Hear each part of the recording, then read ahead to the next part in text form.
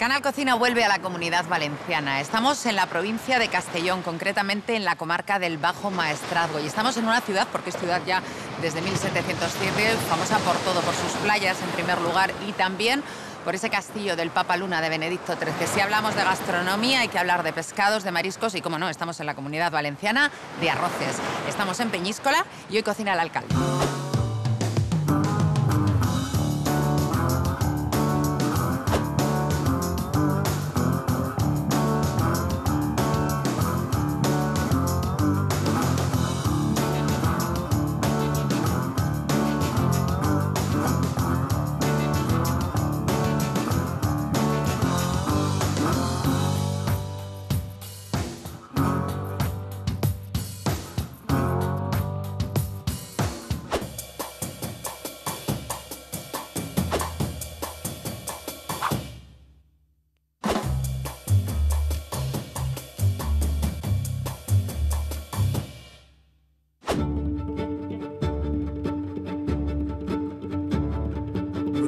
Muy buenas. ¿Cómo estáis?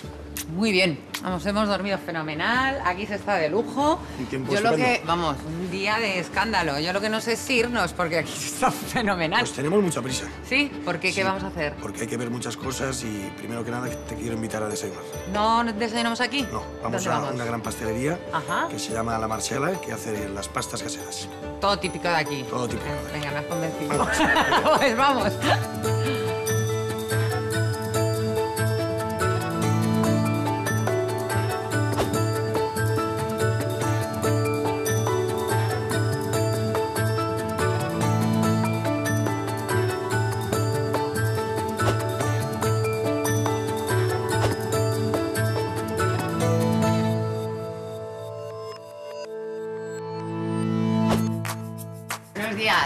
Buenos días. Buen día, Luis. ¿Cómo Buenas. estás? ¿Qué tal, Luis? Soy Begoña. Encantado. Mira, Begoña, te traigo aquí a Calas de la Marsala, que es eh, uno de los hornos más tradicionales que tiene Peñíscola desde el año 1940 y tercera generación de panadero.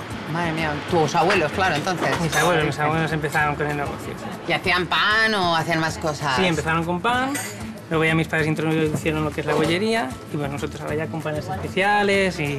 Pero me imagino que seguiréis también haciendo las recetas, porque me decía Andrés que hacéis una coca de tomate. ¿Cómo, cómo es la coca? ¿Cómo la hacéis? Pues es una receta muy sencilla, aceite y así, agua, harina, muy ¿La masa de un pan? Sí, sí, tipo pan. Y bueno, con tomate, con productos de, de aquí, de, de la zona. Y bueno, eh, luego se pueden hacer diferentes... Hay más variedades. Sí. ¿Como, como cuál, por ejemplo? Bueno, le ponen berenjena Sí, también. de berenjena, de cebolla. Cebolla. Ujú. ¿Y dulces? Porque yo he visto que es Bueno, pastelería. de toda la vida, los dulces, pastisets. Los pastisés, los pastisés de, de Cabello de Ángel son el típico de aquí y los de Eso que son también. como unas empanadillas dulces, Sí, sí, con horneadas. forma de media luna. Llevan azúcar. Sí, Se sí. rebosan de, de Sí, azúcar. así como después. ¿Y qué relleno llevan? ¿Cuál es el típico? El típico el de Cabello de Ángel. Y luego ya le sigue el de boniato, el dulce de boniato. Luego ya calabaza, eh, requesón y almendra. Y ahora hacen ya- de chocolate. Sí. también. Claro, porque a también innovar, adaptándose sí. a los gustos. ¿Y cocas dulces hay también? También tenemos la coca de azúcar que hacía mi abuelo, que esa está buenísima. Y luego hay de manzana. Y luego ya tiramos a otra especialidad que es la salada que es de hacia el gas. Ah, no, porque pensaba que Cuando me salimos decías del colegio siempre coja- cogíamos la coca en sal, que es la tradicional de toda la Sí. vida. que es la más básica, La digamos. básica y que tienen, todavía tienen. Sí, sí. Bueno, yo quiero probar la de tomate. Es verdad. Mm, es Rica. verdad. Buenísimo.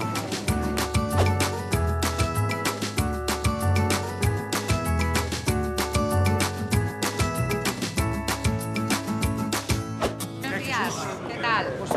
Secretario de la Cofradía de Pescadores. Jesús. Begoña del, del programa Cala Cocina. ¿Quieren ver el pescado fresco de Peñíscola al que sacan nuestras barcas? Como veis están entrando ahora. Ajá. A partir de las 4 menos cuarto empieza la subasta cada día correlativamente pues avanza un puesto en la subasta, por lo tanto... ¿Cuántos barcos hay aquí más o menos que descargan? De arrastre tenemos 24, arrastre son estos grandes, y de pequeños de artes menores, como que de allí delante, hay un Trasmayo. Hay, trasmayo, hay 15. Porque estos que son más medianos Salmonetes. suelen, suelen coger salmonete, langostinos, sepia, pulpo, y los más grandes, que son los que se agarran al otro lado, ellos son derrape, eh, pescadillas, salmonete, son dos clases de pescado completamente diferentes. ¿Y la lonja funciona cuántos días? La semana, entre semana y luego tienen dos meses de veda que se han terminado hace unos días. Veda biológica, que son... Sí, sí, sí, voluntaria. O sea, no Sí, está- para conservar un poco las Sí, especies, sí, porque ¿no? ni está subvencionada ni nada, o sea, los barcos... vosotros por por responsabilidad. Excepto en festivos trabajan todos los días, se subasta todos los días. El precio de la subasta va de, me- de más a menos y están los que tienen autorización para comprar pescado. ¿Quiénes Tanto- vienen aquí a comprar? Pues tanto los que son arrieros, que decimos que lo llevan a los mercados importantes de España o de Europa, son como los- lo que sería un mayorista, Sí, digamos, ¿no? Pero los pequeños también tienen opción, los restaurantes, a comprar pues eh, lo que quieran para poder servirlo en sus restaurantes. Vienes sin aliento, porque vienes corriendo tan rápido. La verdad es que sí, porque si nos pasa el número vendemos el último y, Y es Y el precio- en los tiempos que estamos ahora no tendría que pasar. Los últimos siempre consiguen menos porque ya la gente se ha provisto. eh, hay gente que los arrieros son de localidades cercanas y se van a abrir sus pescaderías y compran rápido y se van. Y aún así tampoco es que se saque tanto, tanto, tanto como os gustaría, ¿no? Están luchando por sobrevivir. Estamos luchando, es la, esa es la, la- la Es palabra supervivencia. El timón de los pescadores de toda la provincia de Castellón. Presidente también de la federación luchador nato. Se ha O sea, en que la tienes que, pero está en la pesca. que tienes que dar la cara por ti y por todos tus compañeros, como La se verdad es decía que en sí, el hay que dar la cara en muchas partes. ¿Se va a vender el pescado? Lo que más se puede cotizar de todo lo que traes, ¿qué es? Aquí tenemos el langostino de Peñíscola. Este es el bueno, Este es el bueno. Pues está mi gusto. que está vinito. Mira las patas. Pues nada, vamos Una para adentro a la subasta, que saquéis mucho y que os merezca la pena el día. vaya bien. Alcalde.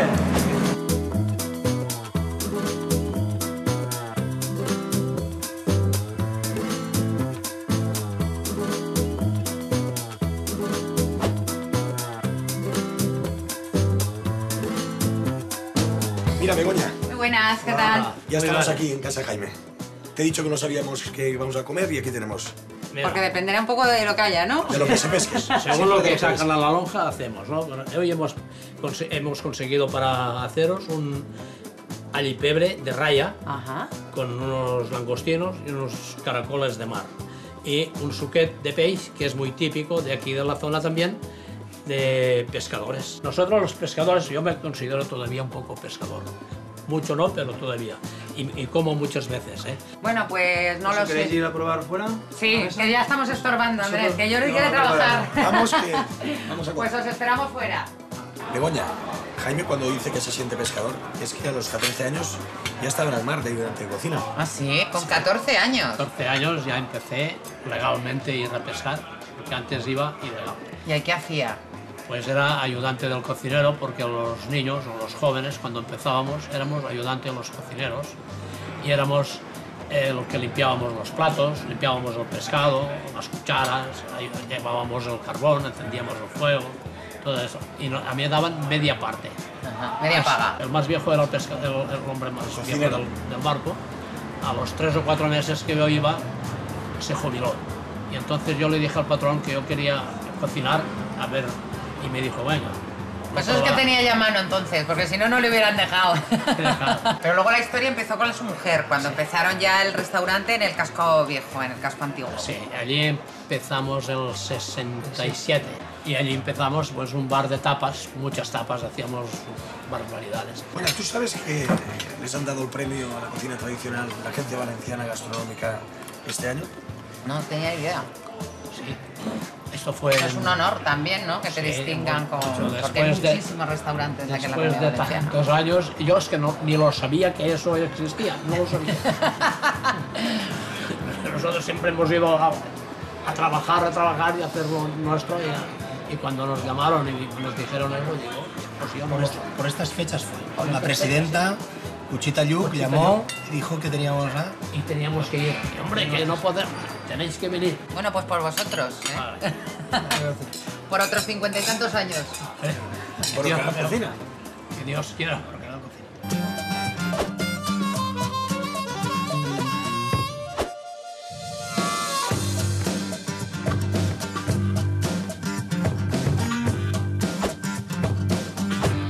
preparado. Andrés, bueno, te voy a decir Andri, porque todo el mundo te dice Andri. Como quieras. Todo el mundo te va saludando por la calle porque, bueno, pues la gente te conoce, eres de aquí de toda la vida. Y vas a hacer... Dímelo tú. Vamos a hacer un pescado con patatas y el arroz sellat o arroz de banda. ¿Es lo mismo arroz sellat que arroz a banda? Se llama así. en- aquí le llamamos arroz sellat. pero bueno, se puede llamar arroz de banda. Bueno, pues tenemos pulpo roquero, de aquí, eh, de Peñíscola. Tenemos las galeras, que es como el langostino de los pobres aquí en la ciudad, pero son mucho más sabrosas desde mi punto de vista. Sí.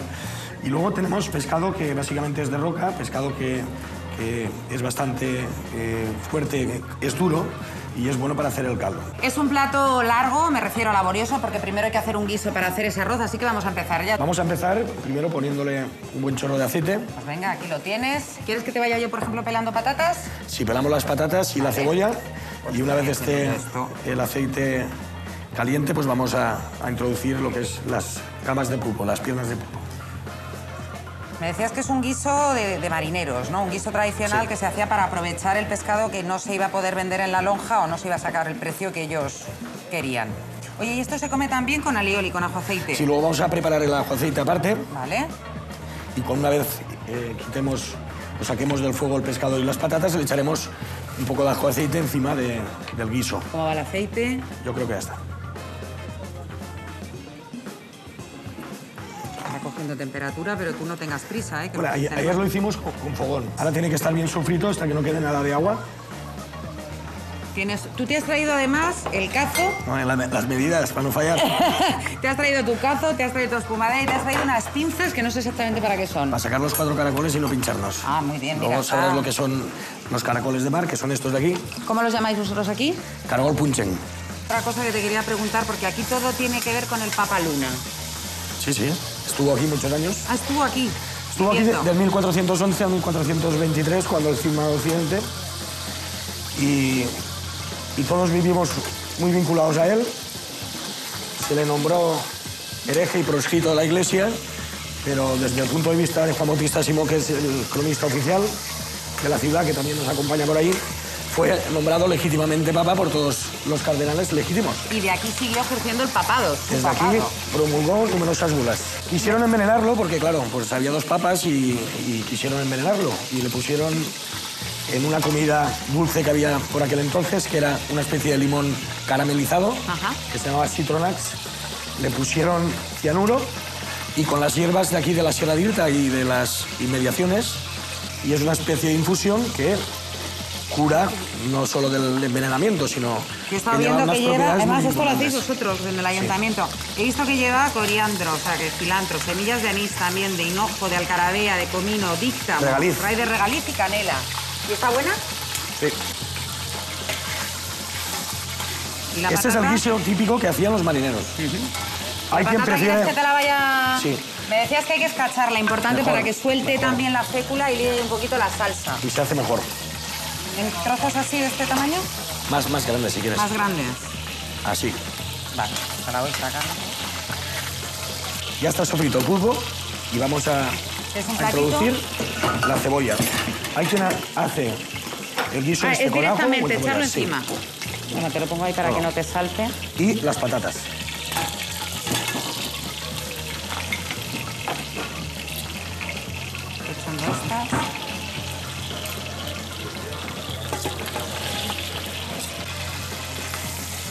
Vale.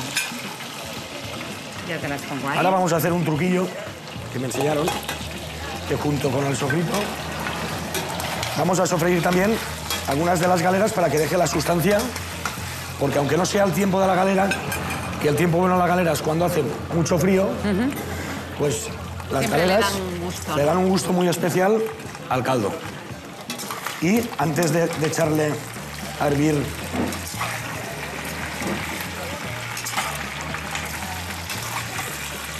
Antes de echar a hervir, la sacaremos, para que no se deshagan tanto. Hay un pescado duro que es la rata, que también la podemos ya echar a sofreír.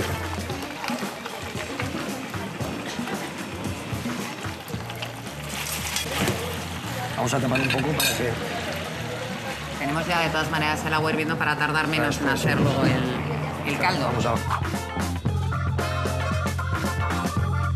¿Cómo va eso, Andrés? Bien, ¿Bien? Como veis ya están cogiendo por las patatas.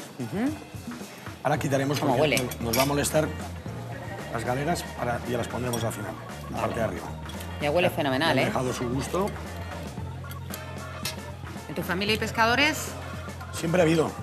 al mar hay mucha gente que se dedica todavía y que hay que apoyar al sector. Vamos a ponerle un poquito de, de azafrán. ¿Con ese té suficiente? Sí. Salo todo. Por aquí. Un poquito de pimentón dulce también. Enseguida le echaremos el agua para que no se nos Para que queme. no se queme, sí, que amarga. Que amarga enseguida. Un Le vamos a poner un poquito de sí, colorante también para un tono más atractivo. Para que le dé tono al caldo.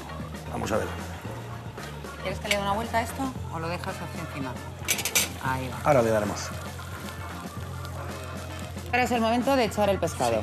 Ahora, una vez eh, ha empezado a hervir y ya las patatas se están guisando, vamos a introducir el pescado. ¿Así que es- entero o lo cortamos? Lo cortamos porque estas, las lluviolas son... Hay algunos que están ya en trozos, echando grandes. si quieres y te corto yo el pescado que va. Vamos echando Trozos congrio. grandes, no hace falta. O trozos pequeños. Grande, ese sí.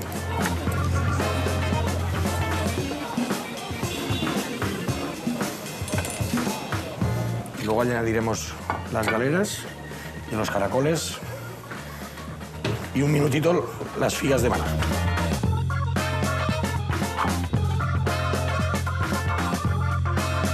Ya tenemos el pescado al punto de cocción, Ajá. la patata ya está blandita. Este sería un plato, pero nosotros vamos a seguir adelante porque Claro, tenemos que hacer ya tenemos el caldo, como aquel que dice, preparado. Y mientras me ayudas tú a hacer el ajo aceite, Yo te ayudo a lo que tú me digas. yo preparo la. Perfecto. Tengo aquí el ajo. ¿Cuántos quieres que Cuatro. pongamos? Cuatro. Y les voy a quitar, si quieres, Si le pones un poco de sal para que no resbale, ¿verdad? no resbala. Les voy a quitar el germen, que eso es una manía, no sé si será verdad, valdrá para algo, Para que no repita. pero dicen que así no repite. Así dicen. Vamos a echar también lo que son las espardeñas. Ajá. Las Esto que, me decías tú que antes en- en- era barato. lo tiraban, son una especie de pepino de mar, se abren y de cada uno sale una. Ajá. Es Y ahora muy mismo es un lujo, ahora mismo es un lujo. capricho. Es de lo más caro que hay. Empiezas ya con el arroz, ¿no? Sí. Vamos a sofreír el arroz con, los, con las espardeñas.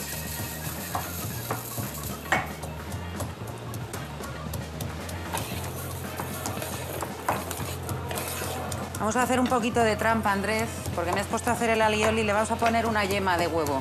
Échale. Es un poquito más fácil. Bueno, pues cuando tenemos el ajo ya así, ¿te parece que echemos la yema? Echa la yema. Venga.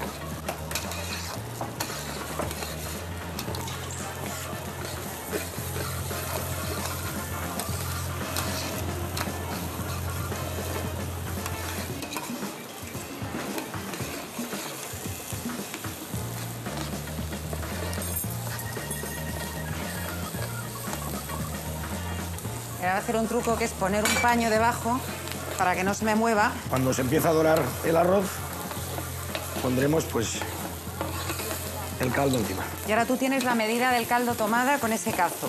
Sí. ¿Cuántos cazos de arroz y cuántos cazos de caldo? Bueno, serían pues unos 60 gramos por persona.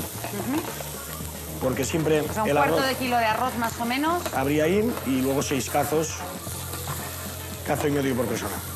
Vamos a proceder a echarle el caldo.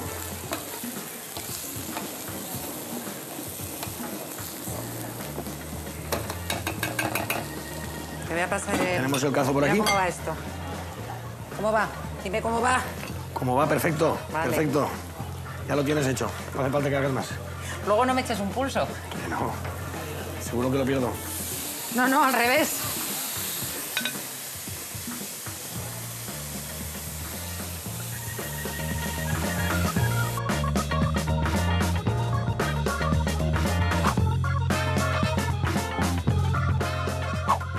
Vamos a apagar ya el fuego, porque está al punto, Está sequito, sequito. y vamos a emplatar. Bueno, nos has pedido una bandeja, no querías una de las pequeñas, querías una No, porque- bandeja que se la hemos pedido a un restaurante prácticamente. Bueno, porque es así como se come. Es así como se come. Ahora vamos a sacar todo lo que es el pescado. Los trozos de pescado. ¿Has probado la patata? Las patatas están al punto. Tiene que estar buenísima esa patata, con todo el la sustancia que ha soltado el pescado. Has dejado fuera las galeras por una cosa concretamente. Sí, porque no es el tiempo. Entonces ha dejado la sustancia en el caldo y, y las Me dices que la galera está más rica cuando es frío. Ahora están bastante fofas, pero sí que tienen la sustancia que ya... Tienen el sabor, pero no son agradables que de la, comer. la contiene el caldo que solo ha llevado y solo ha bebido el arroz. Aquí tenemos las patatas.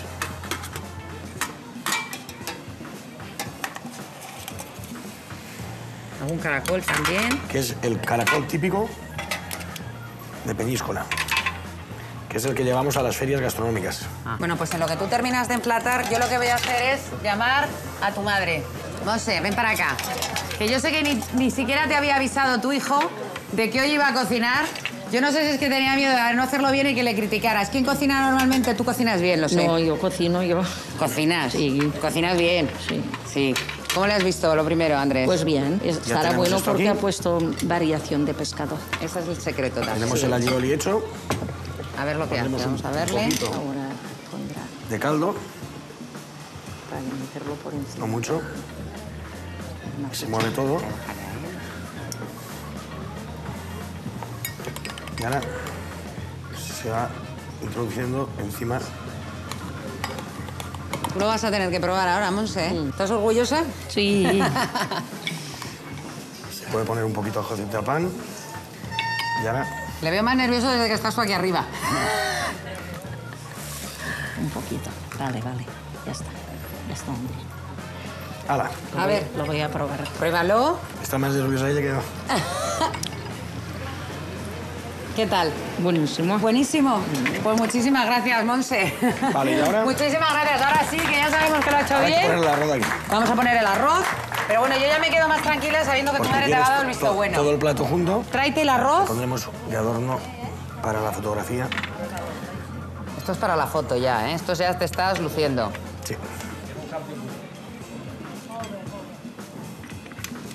Ahí Las está. que se vea todo. Y ahora toma para poner aquí el arroz y presentar el plato completo. Si a lo mejor le había gustado más a tu madre probarlo. Aquí lo tenemos, ¿no? Esto sería todo el plato completo. Bueno, pues vente para acá. Mira, séalo tú, que es tu obra. Andrés, un aplauso.